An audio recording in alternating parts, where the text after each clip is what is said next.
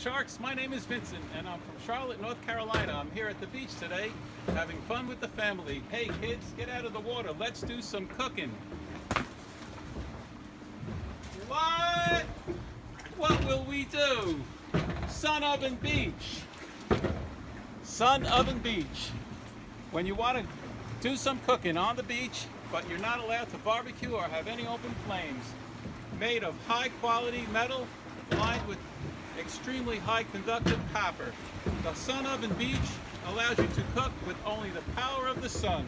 Simply place your chicken, burgers, or hot dogs into Sun Oven Beach and using the power of the sun in about 20 minutes, you will have the most delicious crispy dogs and crispy food you ever saw. Sun Oven Beach. Okay, sharks, who's ready to say Sun Oven Beach?